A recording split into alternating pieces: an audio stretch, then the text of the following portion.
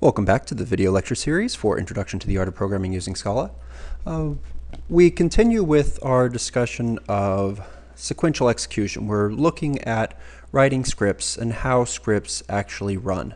And in the last video, we worked on writing a little script to tell you roughly how old you will be after a billion seconds. So let's go and let's look at that again. Um, we have a number of variables that we set up here at the beginning, and then we do calculations to find how many years, how many months, and how many days uh, into the uh, year you are, and then we print out an output here at the end. Now, what if we weren't interested in uh, 1 billion seconds? What if we were interested in 2 billion seconds? Well, I could come in here and I could edit that to say 2, and then save it. And we could run it. And it would give us an output. Um, but having to edit the program every single time that you want to run it with a different number is not very helpful. It would be really nice if we could have this ask the user how many seconds uh, do you want, you know, how many seconds old do you want to consider a person to be? And then have it so that the program would read in something that the user types in. And it turns out that we can do that. Uh, there are uh, functions available in Scala, and in this particular case, the one that we'd like to do is called readInt.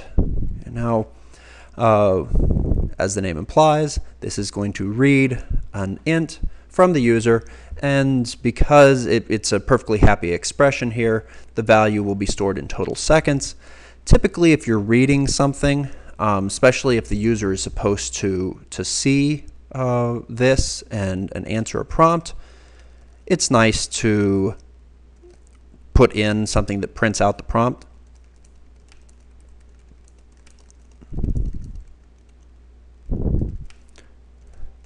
So here we print out the prompt, we ask the user a question, save the file, and now if I type in a billion, I get that. I can run it again, and I, what about only 500 million? Okay, well, that's at 15 years, as you would expect. Okay, and we could play with with other numbers in there. But now this one script is significantly more use, uh, usable because it takes user input. Read int is not the only uh, read option there, there is. Uh, you will probably find yourself using, in addition to read int, you can use read line and read double. Um, the read double reads in a number and interprets it as a double, so it could have a fractional part. The read line will read in anything and gives you back a string. Now you might wonder what happens if I run this and I say something it's not an int. It could be a number like that, or it could be ABC. The result is the same either way, the program crashes. Uh, read int really needs to be given an integer in order for it to work. There are ways of getting around this. Um, we're not going to deal with them at this point. Uh, the the book talks about them briefly, um, but we're not going to con concern ourselves with it. Uh, another thing that you should know about writing scripts. So someone might look at this script, and while the variable names in this particular script are reasonably informative, it still is possible that someone doesn't know exactly what's going on. Um, it's nice to be able to put in things that are in plain English um, inside of your scripts and programs, and we do this through something called comments.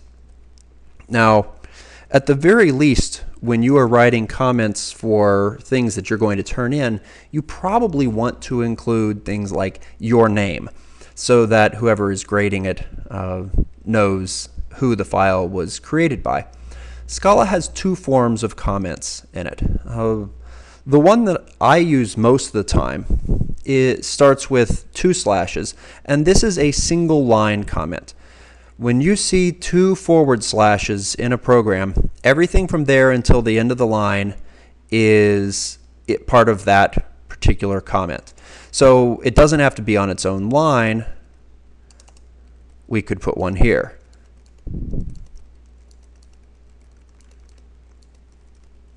Okay, so the thing about comments is whatever you put there,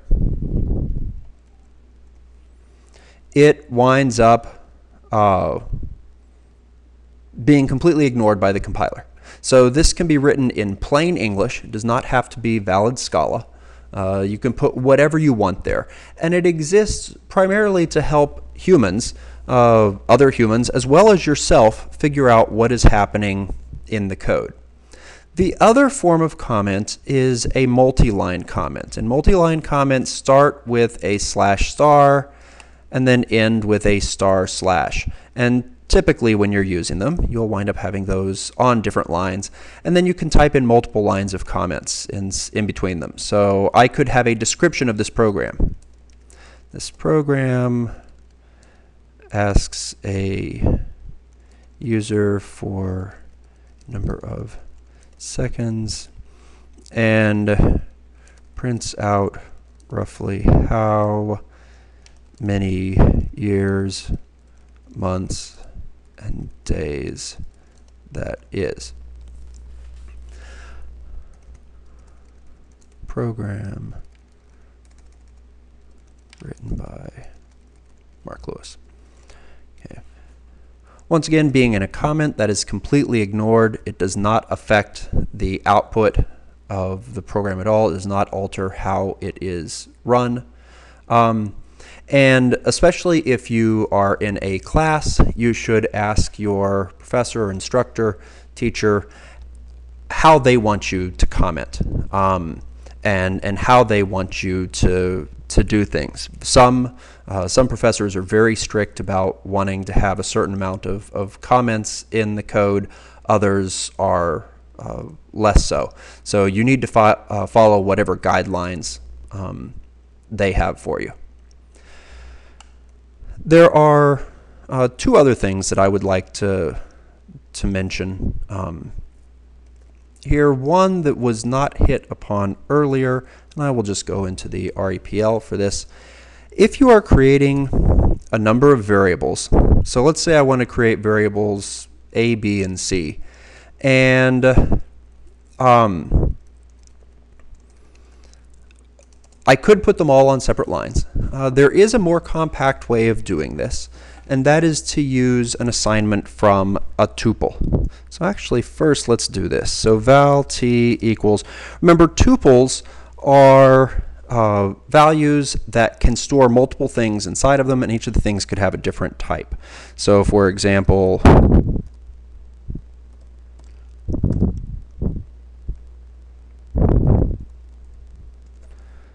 that.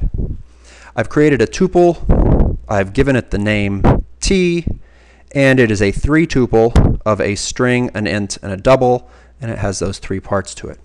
And we saw previously that one way to pull these out is to use the methods underscore 1, underscore 2, and underscore 3 to get at each of the elements in there.